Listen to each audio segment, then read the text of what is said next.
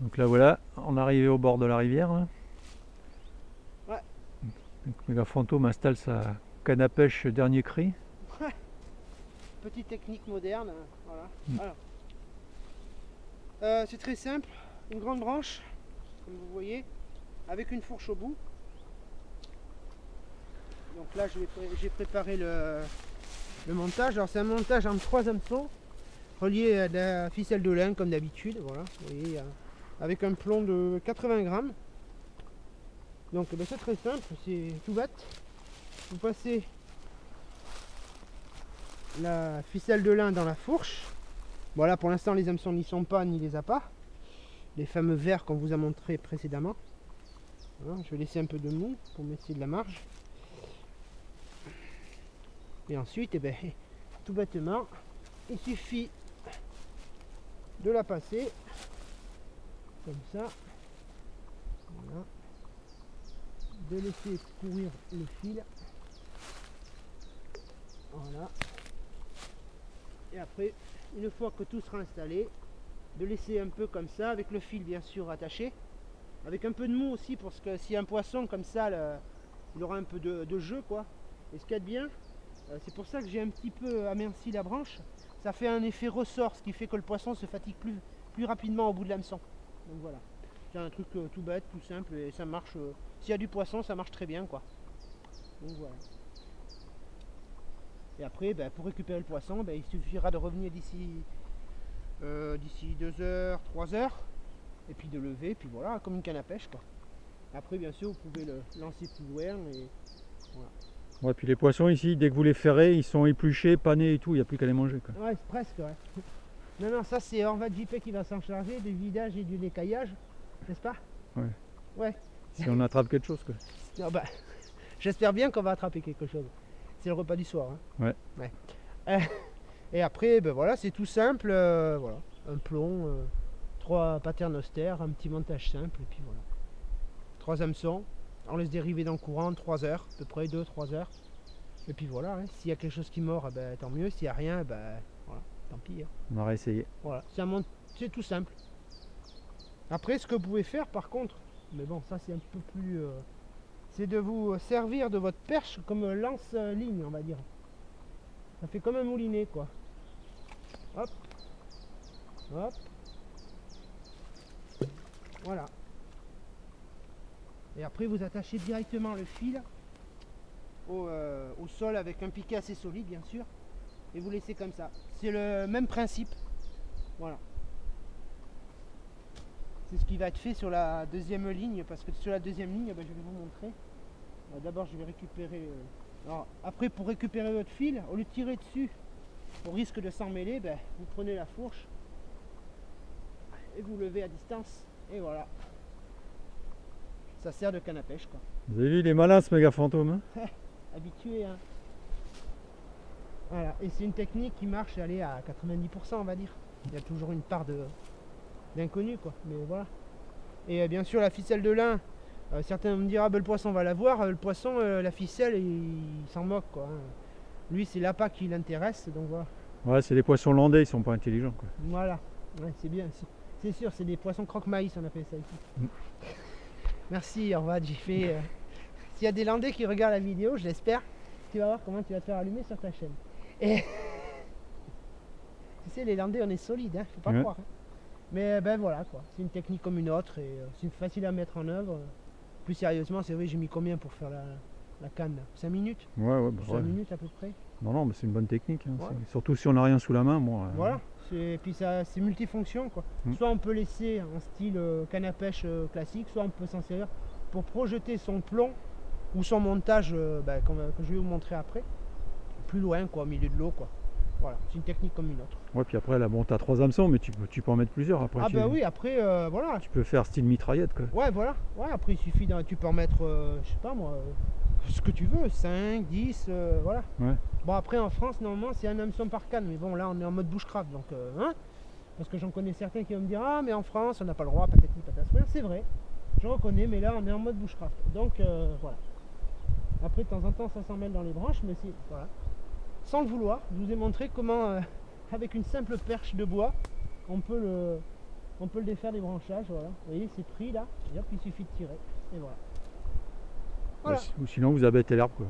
Euh, oui, mais bon, euh, moi je préfère essayer à d'abord sortir le fil avant d'attaquer, de couper l'arbre. Donc voilà. Et après, je vais vous montrer la ligne avec le bouchon euh, fait maison, on va dire, que j'ai montré à, à JP là. Euh, un bouchon, euh, vous allez voir, je vous montrerai ça juste après. Donc eh ben, je vous dis à tout de suite. Ok, eh ben voilà le gros pépère. Voilà, c'est en va de JP. Ouais. Voilà, il est beau, hein. Et ben pour l'attacher, ben, c'est très simple, on l'attache eh ben, par le cul. Ça s'appelle comme ça, hein. Désolé. Donc, eh ben, alors mettez des gants si possible, parce que les hameçons dans les doigts, euh, aïe, quoi. Moi ça va, j'ai à peu près l'habitude, mais vous l'attachez par le, par le derrière, en évitant de trop le percer parce que ça, ça va le tuer instantanément. Il faut qu'il reste à peu près vivant. Voilà, comme ça. Il bouge encore, comme vous pouvez le constater. Vas-y, approche-le si tu peux. Voilà. Il bouge encore. Et euh, voilà, il va rester vivant un petit moment, quoi. voilà. Et après, ben, vous faites pareil pour les autres. Et puis, euh, vous mettez votre ligne à l'eau.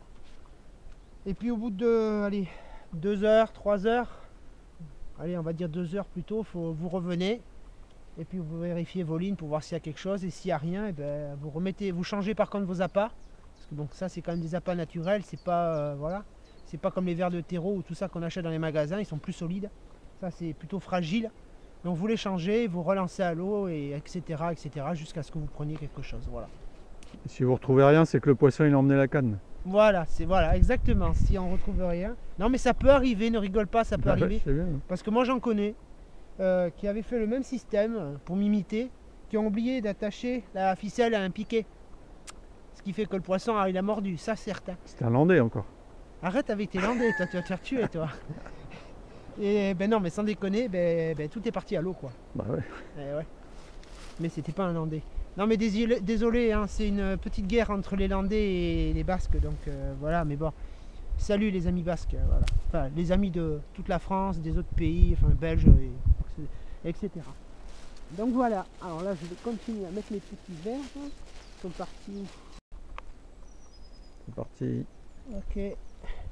Mais là, je vais vous montrer comment faire euh, une ligne, euh, disons, flottante.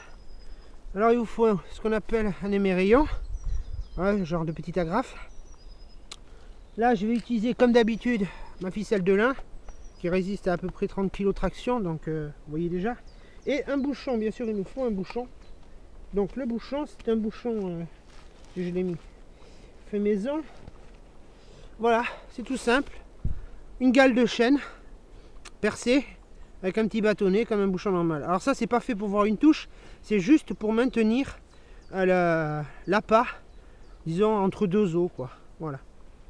Parce que ça va flotter dans le courant et ça va avoir tendance à, à maintenir l'appât entre deux eaux. Ce qui peut être euh, un bon plan.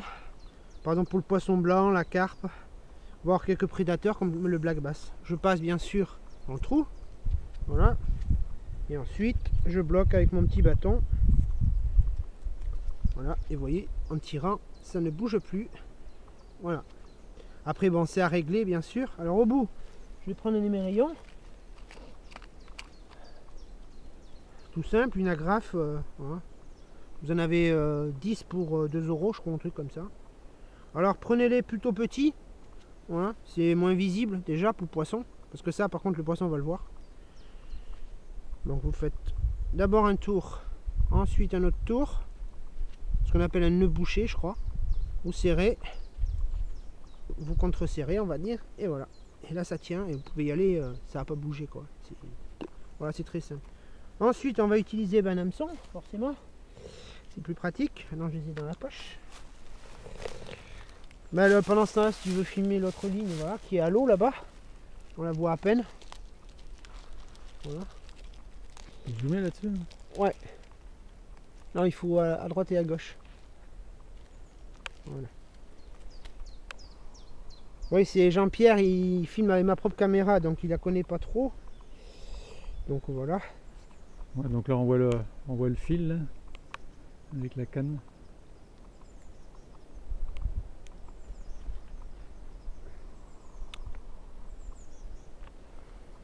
Ouais, donc euh, là c'est à fond quoi, on pêche à fond. Alors ensuite, je vais mettre un plomb. Alors là c'est une chevrotine, on appelle ça, c'est un gros plomb. Voilà.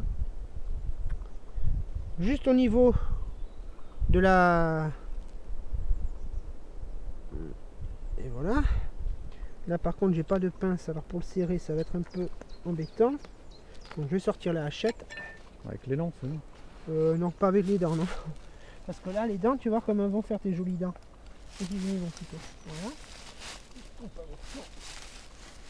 Donc, je vais me servir de ma hachette comme d'une enclume. Et avec le plat, le plat du couteau.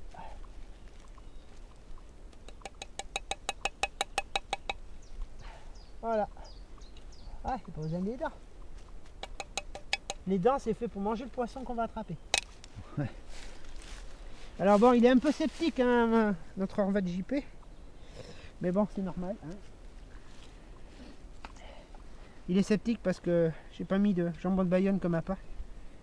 N'est-ce pas? Absolument.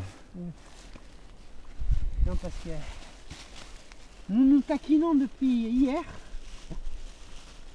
avec beaucoup d'humour. Donc là, bah, toujours pareil, les petits verres blancs là, que je vous ai montré tout à l'heure. T'en as pas un plus gros là? Bah non, là j'ai les plus gros, je les ai mis sur la ligne, la ligne d'encoulée là. Euh, J'en mets deux du coup, deux ou trois même. Comme ça, ils ils s'ennuieront pas.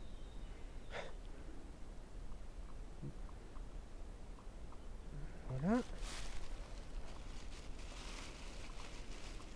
Ah si, oula Ouais, je savais bien qu'il y en avait. Ouais, ouais, ouais, ouais. J'avais oublié celui-là.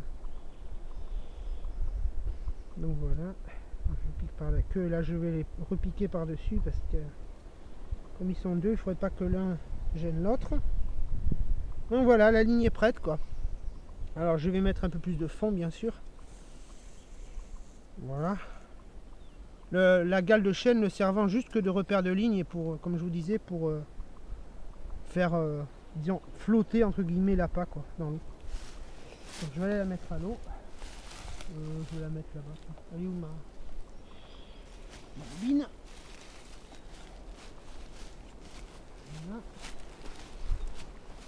Alors la pente est un peu raide. Si je tombe à l'eau, ça... Voilà. ça serait peut-être bien pour la pour un bêtisier, mais bon, là j'ai vraiment pas envie parce qu'en plus elle est pas chaude aujourd'hui. Donc euh, Ouais, puis moi, je vais pas te chercher, tu te débrouilles. hein. Ouais, bah bien sûr. Si, tu m'as dit que tu allais chercher la corde qui se trouve à presque un kilomètre. Bah, si je retrouve le camp tout seul, quoi. Ça aussi. Mais si, tu le retrouveras. D'ici une semaine ou deux, quoi. Ouais. Allez, bon, bah, c'est juste. Bon, fais gaffe quand même. hein. Ouais, t'inquiète. Eh ouais. C'est bien les vidéos, hein, quand on vous montre que tout va bien. Mais après, quand il faut vraiment y aller, il y a des risques.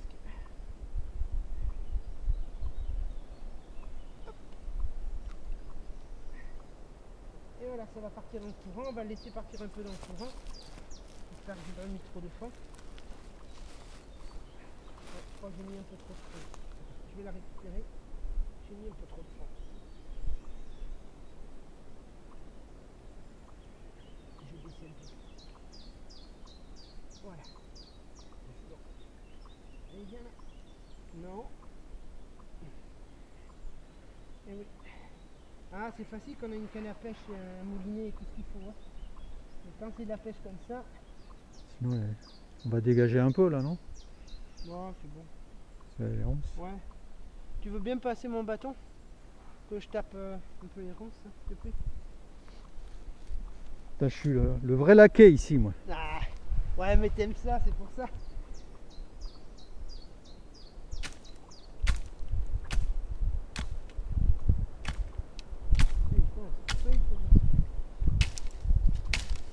Voilà. Ah ouais, mais il y a un trou de ragondin là-dessous. Ah, je me disais aussi. Ouais, fais gaffe de pas. Ouais. Tout à l'heure, le truc. euh, Ouais, il va pas être content le bestiau. Attends, je vais me tenir le bâton.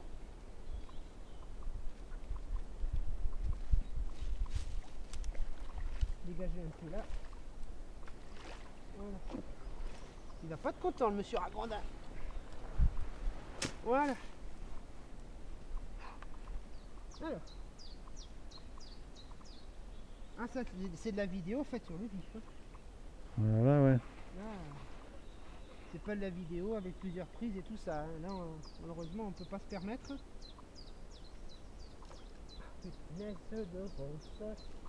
Je t'avais dit de nettoyer. Mais j'ai nettoyé. Non, mais sur le côté, là, les ronces. Ah, oui. Ça, C'est de la vraie saloperie, ça.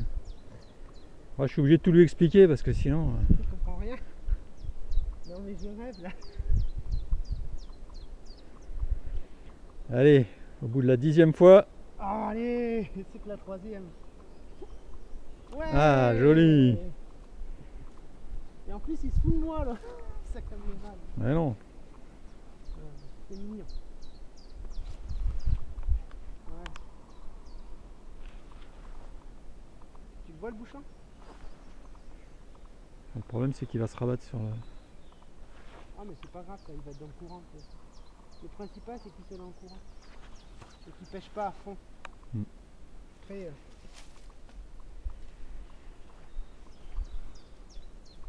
Bon, t'as quelque chose à dire avant que je coupe? Euh, que Enva Juppé aime bien me taquiner. C'est bon. Et à part ça, euh, non, ben non. euh, J'espère qu'on va attraper quelque chose sérieusement. Ouais, bah on verra tout à l'heure. hein. On, bah, verra. filmera la, la levée des, des lignes. Ouais. On verra bien. Bon, allez, à tout à l'heure. Allez, à tout à l'heure.